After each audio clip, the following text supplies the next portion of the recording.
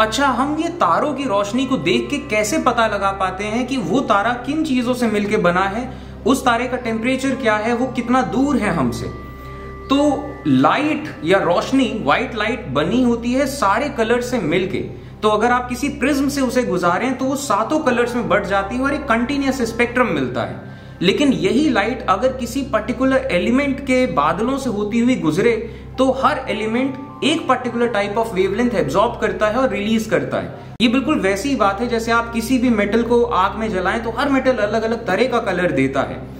तो इसी तरीके से अगर आप लाइट को पास कराएँ अलग अलग गैसेस से तो ये गैसेस लाइट के उन सातों रंगों में से कुछ पर्टिकुलर रंग एब्जॉर्ब कर लेती हैं तो फिर ये जो स्पेक्ट्रम मिलता है वो थोड़ा डिस्क्रीट स्पेक्ट्रम मिलता है। ये एक बार कोड के जैसा होता है तो हर एलिमेंट जो भी एलिमेंट से पूरा यूनिवर्स बना है, हर एलिमेंट का एक पर्टिकुलर जैसे बार कोड है तो अगर हम सूरज से आती हुई रोशनी को अगर हम इस स्पेक्ट्रोग्राफ से देखें तो हमें नज़र आता है एक पूरा बार कोड कि सूरज की रोशनी जितने रंगों से मिलके बनी है, वो जब सूरज के कोर से बाहर आ रही थी तो फिर जितने भी गैसेस ने और जितनी भी एलिमेंट्स ने, उस रोशनी से जो जो चीज़ें निकाल ली उसका पूरा हमें क्वांटिटी मालूम है।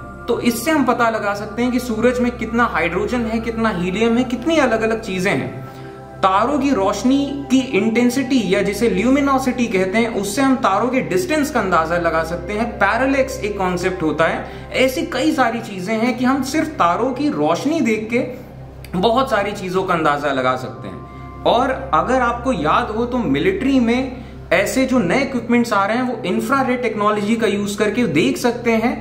ऐसी चीज़ों को जो विजिबल लाइट या नहीं देख पाते, हमारी आँखें नहीं देख पाती, क्योंकि हमारी आँखें विजिबल लाइट ऑफ़ स्पेक्ट्रम में काम करती हैं। तो हम जो भी चीज़ दुनिया में देखते हैं, उसके आगे भी बहुत कुछ है जो हमें नज़र नहीं आता और इन चीज़ों को हम देख पाते हैं इन टेलीस्कोप्स के माध्यम से।